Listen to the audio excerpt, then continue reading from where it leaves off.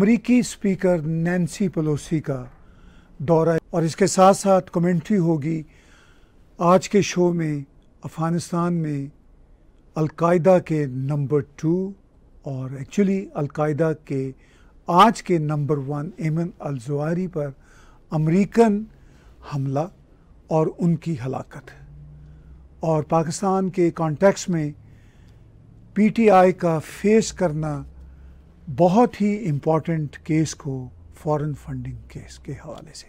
इन दिनों में थोड़ी थोड़ी सी बातचीत करूँगा।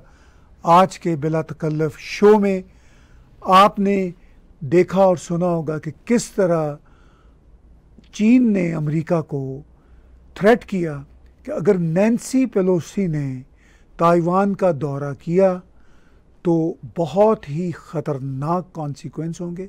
और पिछले हफ़्ते चीन के सदर यी ने यहाँ तक सदर बाइडन को वर्चुअल कॉन्फ्रेंस में कहा कि अगर अमेरिका ने ऐसा किया तो आग से खेलने के मतरादफ होगा। यानी अगर नैन्सी पलोसी ताइवान की तो अमेरिका यूँ समझे कि अमेरिका ने आग से खेला और फिर हमने देखा कि अमेरिका ने चीन के शब्दों के मुताबिक वाकई ही आग से खेला। और नैन्सी पेलोसी वहाँ पर गई। ना सिर्फ़ वो अकेली थी, बल्कि उनके साथ पाँच सेनेटर्स थे। अमेरिका का अगरचे यही कहना था कि हम इंडिपेंडेंस ऑफ़ ताइवान पर बिलीव नहीं करते, मगर नैन्सी पेलोसी ने जिस तरह दौरा किया ताइवान का, उसमें वाज मैसेज था कि वो ताइवान को एक इंडिपेंडेंट कंट्री के तौर पर देखते हैं।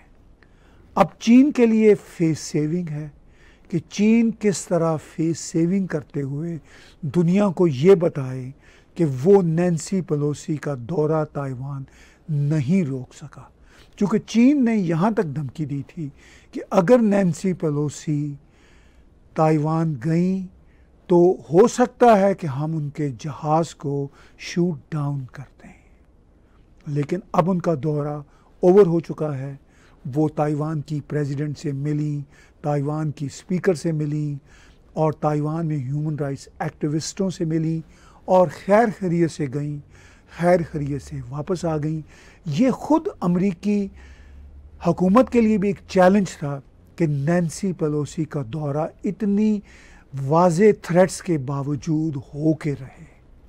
क्योंकि अगर नैन्सी पलोसी का ये दौरा ना हो पाता तो ख़ुद अमेरिका की पॉलिटिक्स के अंदर जो बाइडन एडमिनिस्ट्रेशन के हवाले से एक बहुत ही कमज़ोर तासर उभरता और अमेरिका में जो मिड टर्म इलेक्शन होने जा रहे हैं, उस पर भी बुरा असर पड़ता।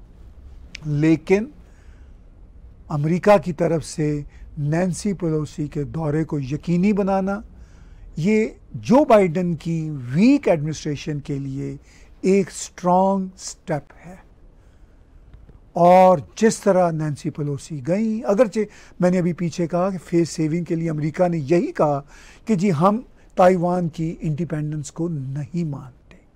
मगर जिस तरह नैन्सी पलोसी गई, वो एक इंडिपेंडेंट कंट्री में गई जिसका नाम ताइवान है, जिसकी अपनी करेंसी है, जिसका अपना टैक्सेशन का निज़ाम है, जिसकी अपनी फ़ौज है, जिसका अपना फ्लैग है, और इस कंट्री को अमेरिका भी अभी इंडिपेंडेंट कंट्री के तौर पर तस्लीम नहीं करता, मगर उनकी पार्लियामेंट होने के बावजूद, जिसकी डेमोक्रेसी की नैन्सी पॉलिसी ने तारीफ़ की Delegation came here to send an unequivocal message.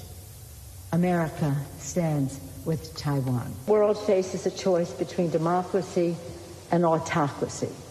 America's determination to preserve democracy here in Taiwan and around the world remains ironclad.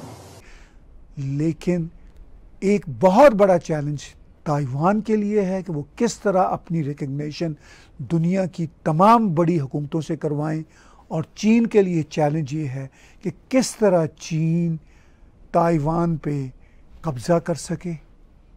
चीन का यही कहना है कि ताइवान अभी भी चीन का हिस्सा है, लेकिन ताइवान में चीन का किसी किस्म का कोई कानून नहीं चलता और ना ही चीनी हुकूमत की वहाँ पे अमलदारी है। अब दुनिया आने वाले दिनों में ये देख रही है कि क्या चीन ताइवान पे उसी तरह कब्ज़ा करने की कोशिश करेगा जिस तरह रूस ने यूक्रेन पर कब्ज़ा करने की कोशिश की। रूस और यूक्रेन के मामलात और हालात बहुत मुख्तलिफ़ हैं। चीन और ताइवान के हालात बहुत मुख्तलिफ़ हैं। यूक्रेन पहले भी एक इंडिपेंडेंट कंट्री होता था, फिर सोवियत यूनियन का हिस्सा बना और फिर सोवियत यूनियन से अलग होने के बाद इंडिपेंडेंट कंट्री था। रूस ने उस पर मुख्तलिफ़ अदवार में कई हमले किए और उसका एक हिस्सा क्रीमिया अलग भी किया और अब रूस की यूक्रेन से जंग भी चल रही है। लेकिन ताइवान, चीन का एक सूबा हुआ करता था और फिर उसने अपने तौर पर अलीहदगी का ऐलान किया। चीन ने उस पर सिक्सटीज़ में कब्ज़ा करने की कोशिश की। तब अमेरिका ने ही अपने बहरी बेड़े की मदद से उस पर कब्ज़ा नहीं होने दिया। यूँ ताइवान एक इंडिपेंडेंट कंट्री के तौर पर रह रहा है और आने वाले दिनों में हम देखेंगे कि क्या चीन उस पर कब्ज़ा करने की कामयाबी हासिल कर सकेगा, क्योंकि अमेरिका के बहरी बेड़े वहाँ पर मौजूद हैं। क्वाड का एक पूरे का पूरा जो नेटवर्क है वहाँ पे मौजूद है और अमेरिका ने साउथ कोरिया और जापान को भी सिक्योरिटी फराहम करना है। इसके साथ साथ वो ताइवान को भी सिक्योरिटी फराहम करना चाहेगा।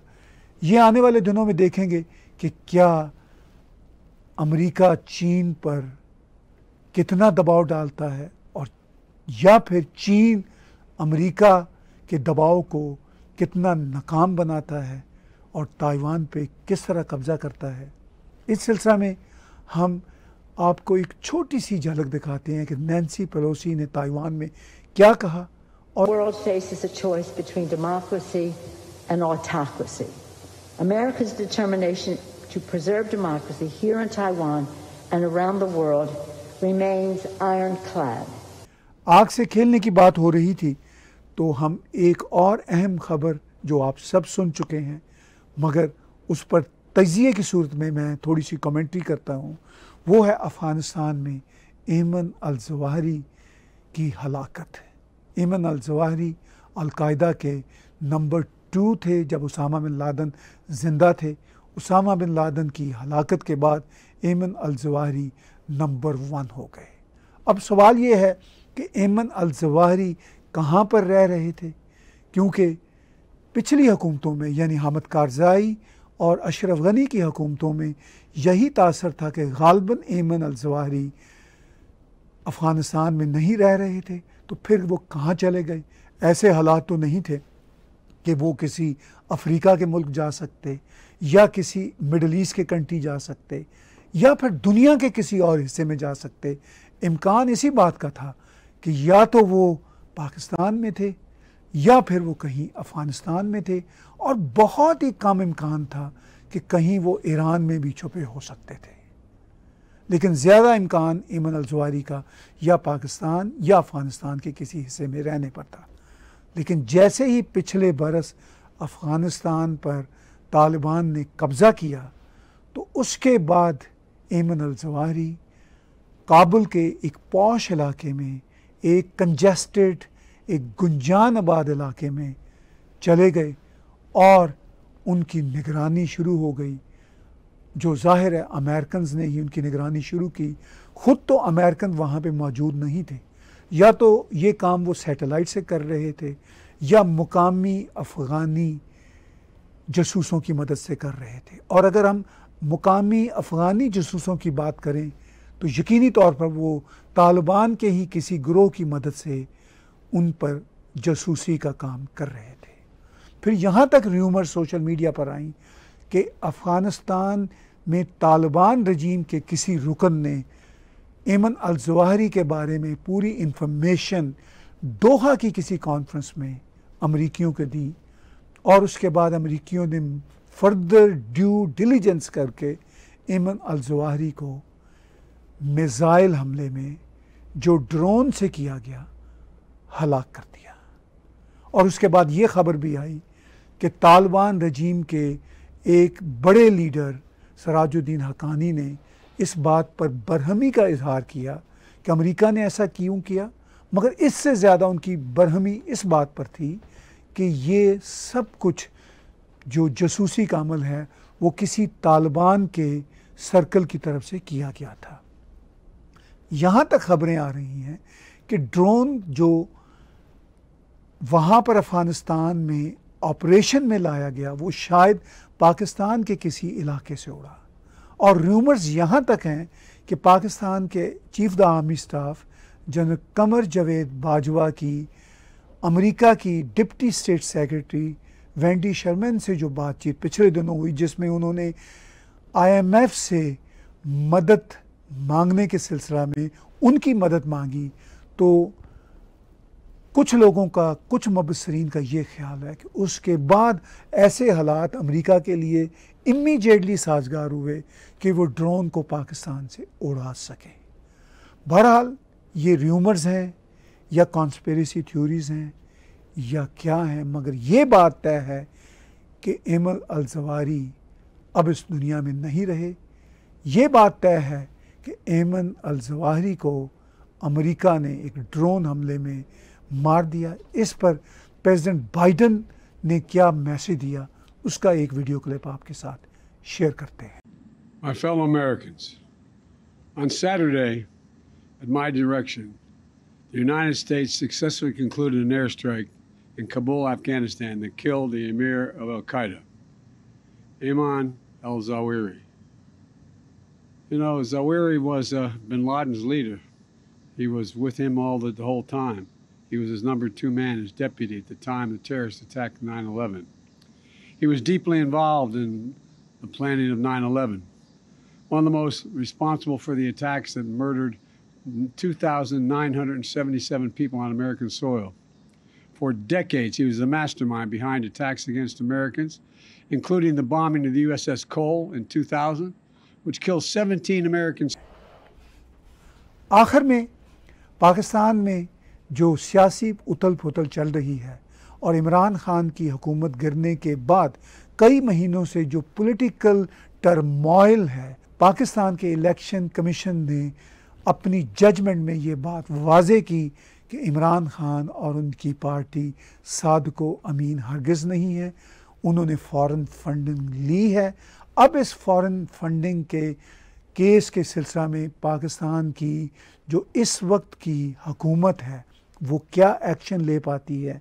सुप्रीम कोर्ट को वो क्या सिफारशात भेजती है कि इमरान खान और उनकी पार्टी के साथ क्या सलूक किया जाए? ये सब बातें एक बहुत बड़ा क्वेश्चन मार्क है, मगर एटलीस्ट ये हुआ कि इमरान खान और उनकी पार्टी के ख़िलाफ़ एक बहुत ही तरीक साज जजमेंट सामने आई। अगरचे ये जजमेंट भी बहुत देर बाद सामने आई। आठ सालों से ये मुकदमा चल रहा था पाकिस्तान इलेक्शन कमीशन में।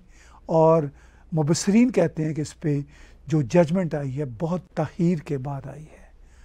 पाकिस्तान के पॉलिटिकल हालात के तनाजर में अब देखना ये है कि इस जजमेंट से इमरान खान की पार्टी को कितना नुकसान होता है और इससे हकूमती इतिहाद को कितना फ़ायदा होता है। आज का बिला तकल्लफ तजिया ताहिर गोरा के साथ देखने और सुनने का बहुत शुक्रिया। आप हमारा यूट्यूब का चैनल सब्सक्राइब कीजिए और इसके साथ साथ आप हमें डोनेट भी कर सकते हैं इसी यूट्यूब के चैनल पे डोनेट के आइकॉन को क्लिक करने की सूरत में।